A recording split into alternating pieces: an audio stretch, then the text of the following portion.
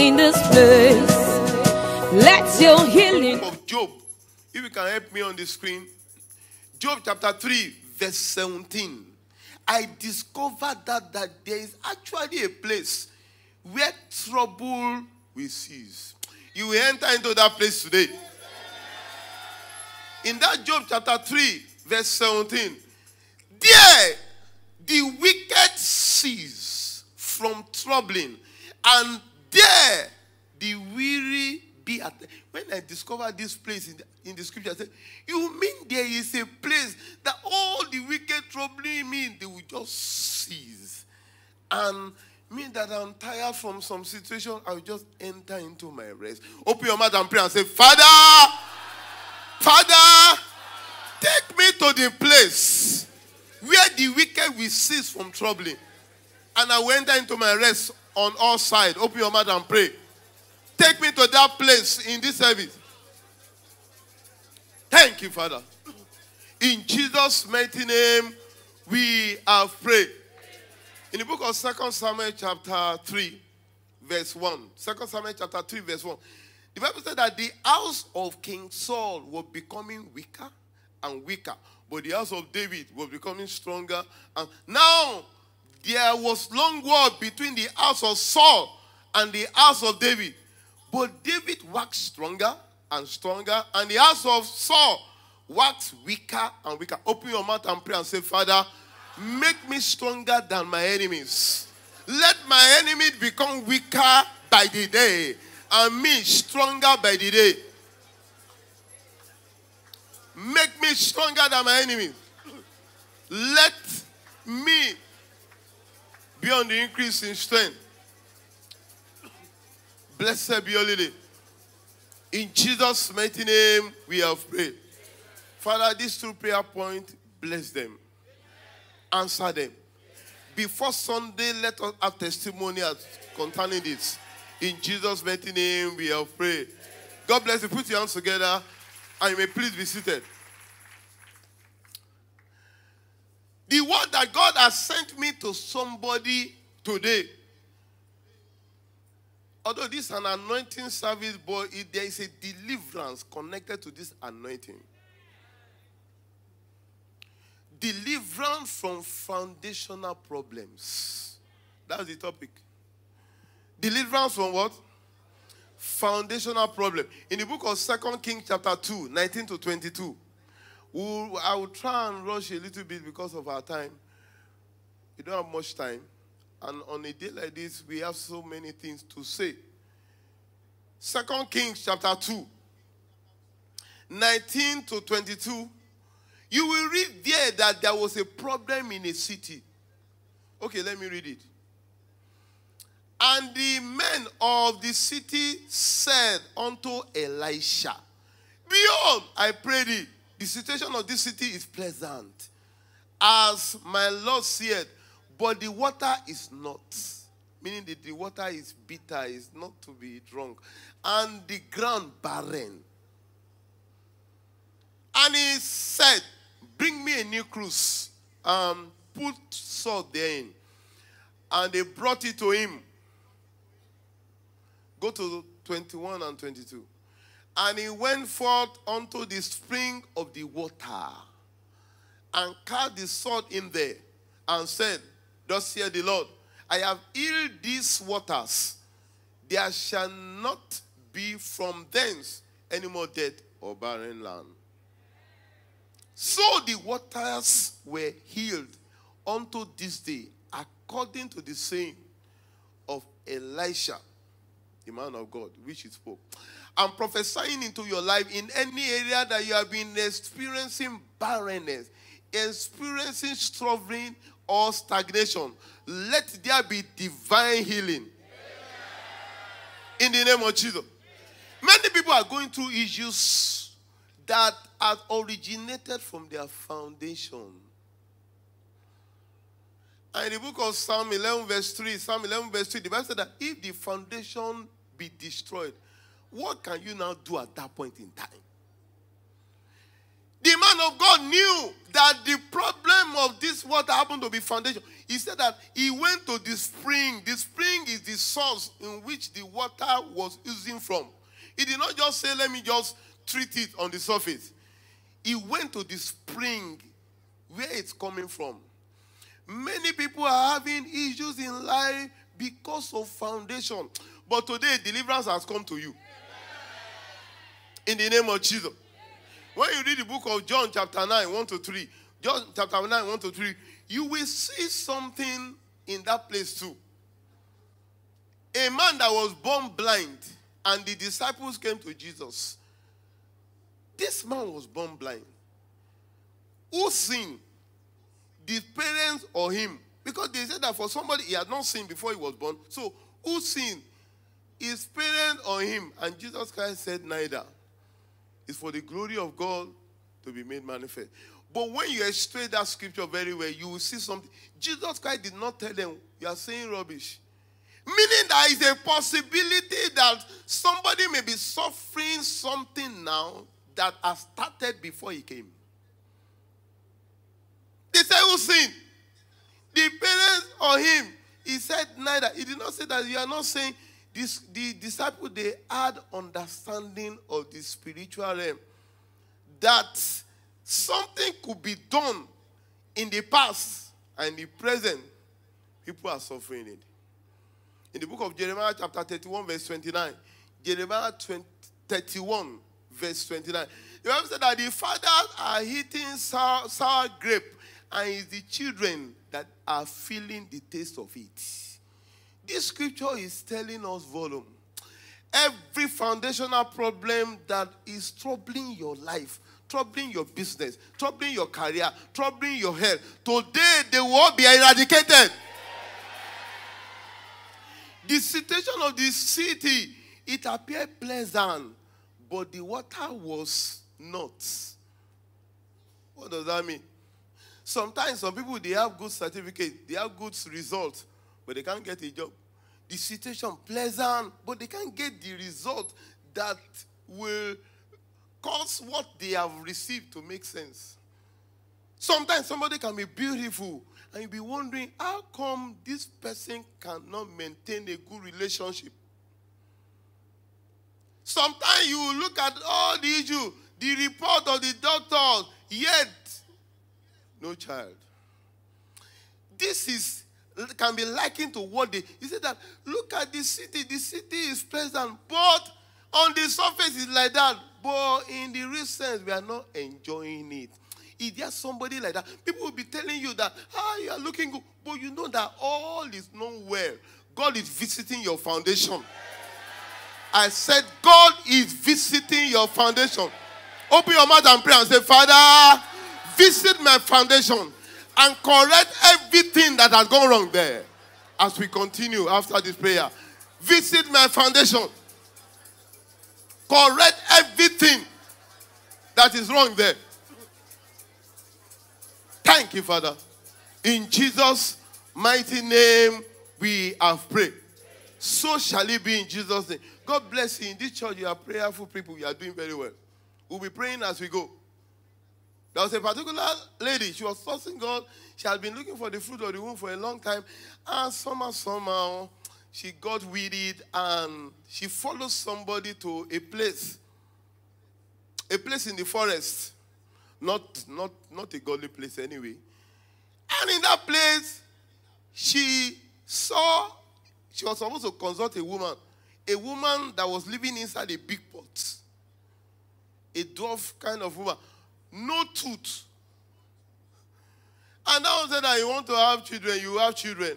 But there'll be one or two things that I need to tell you. And they told us she had to do some things. She was ready to do anything. Said but you have to choose. Do you want to have the children? If you have to have the children, then your first daughter will never marry.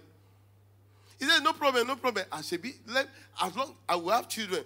It's just that she will not. And she, a covenant was made. Truly, she had children. That one did not know what was happening until she came to a church like this, living church like this, at age 59.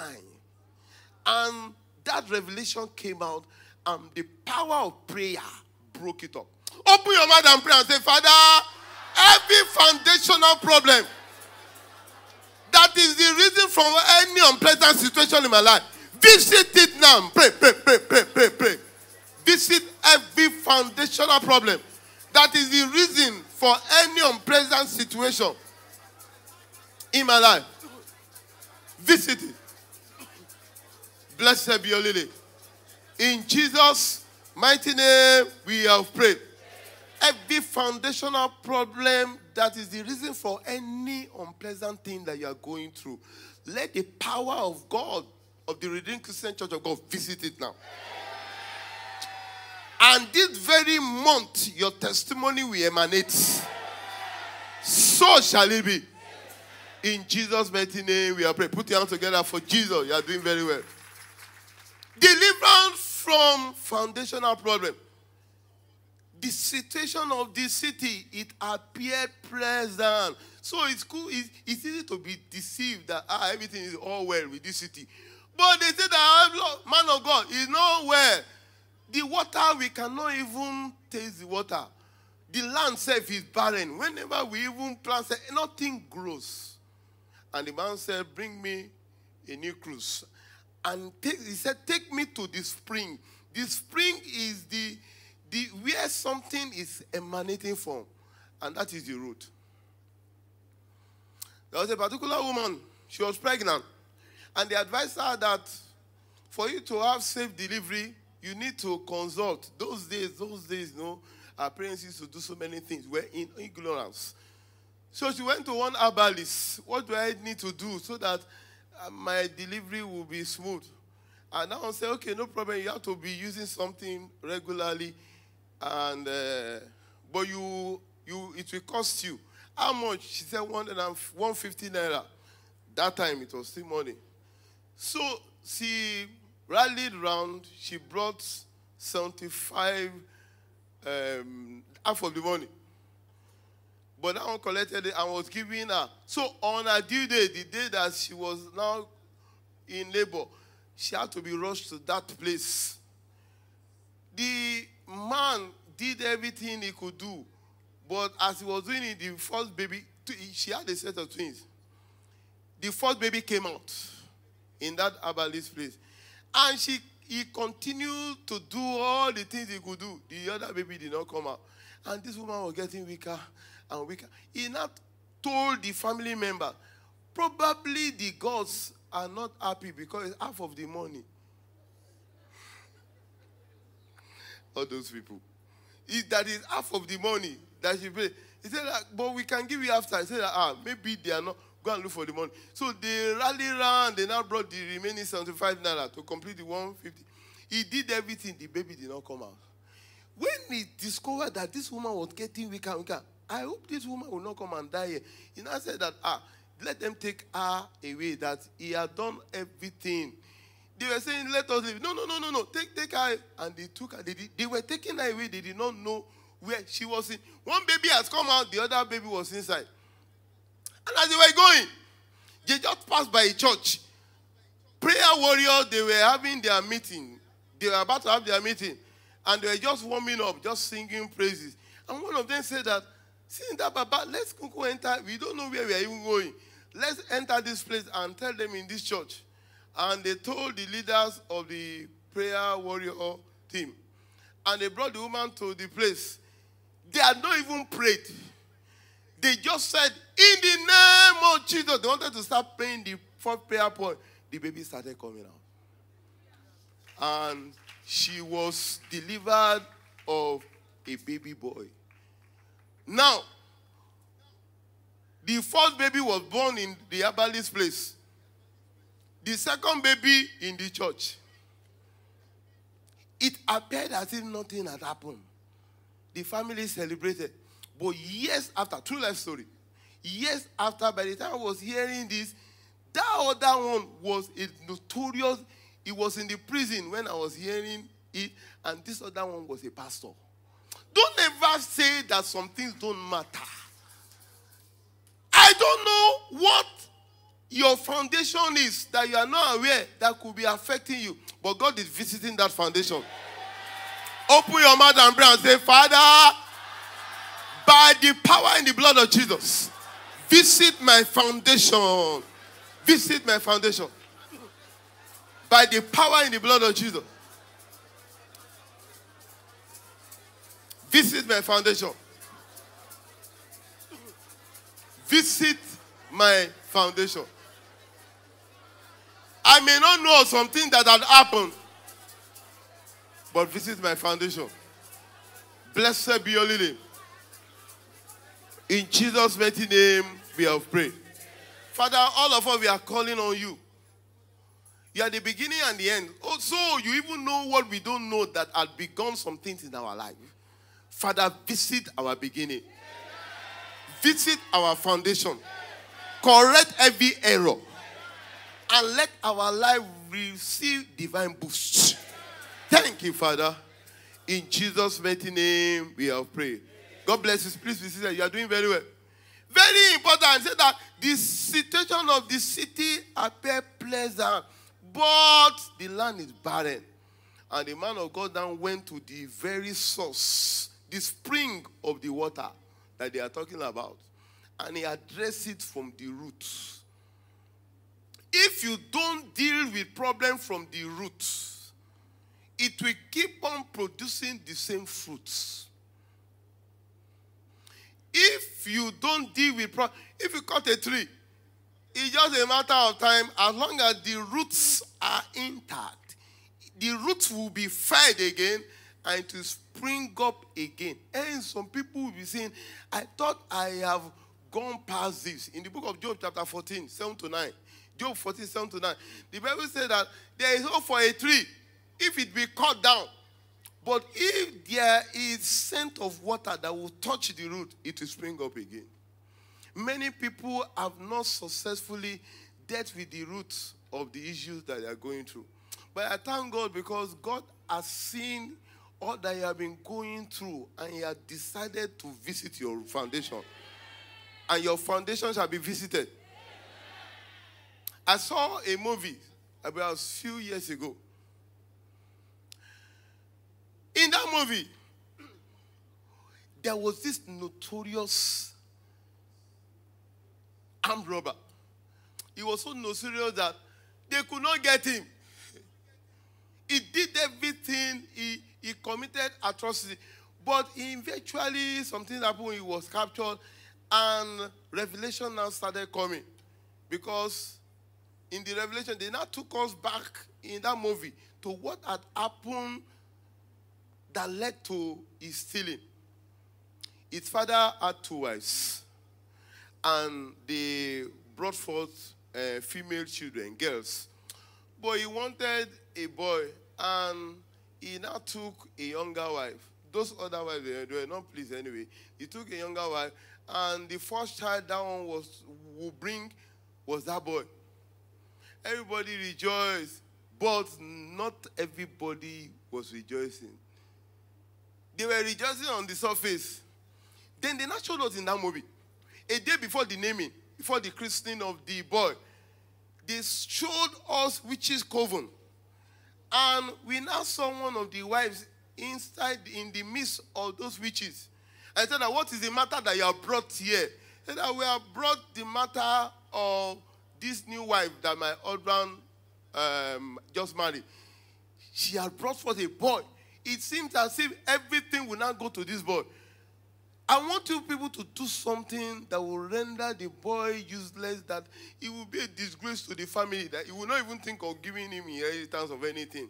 And they now, they now did something. In the realm of the spirit, they brought that baby into their midst.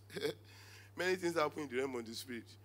They brought the baby to the The baby was still sleeping, but the baby was in their midst. And their head now said, okay, what we should, you said they will be giving him a name tomorrow. Let's give him our own name now. From today, this boy will be a thief. And they, they rejoice.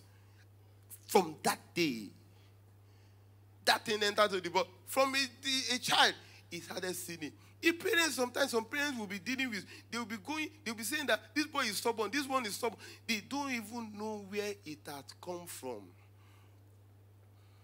and he continued to steal because of foundational problem. In those days when we were growing up, I used to hear the way they were dealing with armed robber, by firing squad, I think they would take them to the beach or something like that. They, I will now be hearing that some people were stealing in that crowd.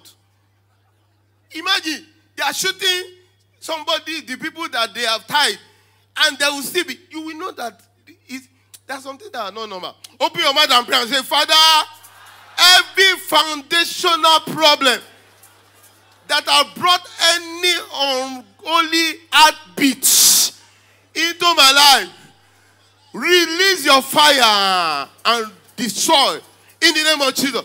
Anything, some people it is anger, some people it is lust, some people it is one thing or the other, the person cannot just stop it. Thank you, Lord. Blessed be your lily. In Jesus' mighty name, we have prayed. God said I should tell somebody an aunt of yours compromised your destiny. Whoever that aunt is, I'm praying. Father, because you have located that person, I mean, that person lived with the aunt when growing up, and that aunt compromised your destiny. I declare restoration of your full destiny. Open your mouth and pray and say, Father, anywhere my destiny has been compromised, in your mercy, give me the full restoration. Anywhere it has been compromised. While I was living with some people, while I was living with my guardian, Father, full restoration, full restoration. Grant unto me full restoration. Blessed be your lady. In Jesus' mighty name, we have prayed. Father, any area of our life that our destinies have been compromised and is now affecting us up to now, these your children, let there be full restoration. Is it not you that said that you will restore all the years? Every wasted year, every wasted opportunity, every lost ground. Let there be restoration. Thank you, Father. In Jesus' mighty name, we are praying. God bless you. Put your hands together for Jesus. We'll soon be through now because of our time. Foundational problems, they are real in life. David was going through financial difficulty. You know what? it, was when he asked God. God said that it's because of something that has happened. I said, "Oh David, oh David, David, the man of God, oh David, that the sweet psalmist of Israel. Second Samuel chapter 21, verse 1. Second Samuel 21, verse 1. The Bible said that year after year, for three years, he was having financial difficulty. A king. God now told him, it is because of King Saul, what he had done. Because King Saul happened to be before him. He took over. You mean I could be suffering from something because of who had gone before me? King Saul had killed the Gibeonites that Joshua made a league with once upon a time. And when God now told him, it's because of King Saul. Okay, he now called the Gibeonite. A king. He was a king. He called the Gibeonite. I'm sorry for what King Saul my predecessor has done. But how can we appease you? Is, are we going to give you anything? Say, we don't want money. We don't want anything. We want the blood of the family of the one that had been killing our people. You want the blood? Because King David wanted peace to be in the land and prosperity to come again. He now said, Okay, I will give to you. Okay, what kind of? He said, and We want seven sons. When you read King James, in that second King and uh, second Samuel chapter 21, 3 to 6, you will see the negotiation. They said they wanted seven sons. And David said, Okay, no problem, I'll give you seven sons. But when I read the scripture, Saul did not have up to seven sons. I said, ah, we did not get seven sons. And I now read the NIV version. he now, he now interpreted it very well. He said that we want seven male descendants from this family. That's why some people they are having premature death in their family. They don't know what covenant had been entered into. Every covenant that has compromised your life or destiny or your prosperity or your health, they shall be destroyed here today. Open your mouth and pray and say, Father, Father, destroy any negative covenant that I have inherited that is affecting my life, affecting my family. No more premature deaths in our families. No more premature death. Mareke sheneleba, lokobalaba, rebete deba. Maleke sheneleba. No more premature death. Thank you, Lord. Blessed be your name. In Jesus' mighty name, we have prayed. I just saw something in the realm of the spirit. I saw about seven people surrounding a person about to shoot.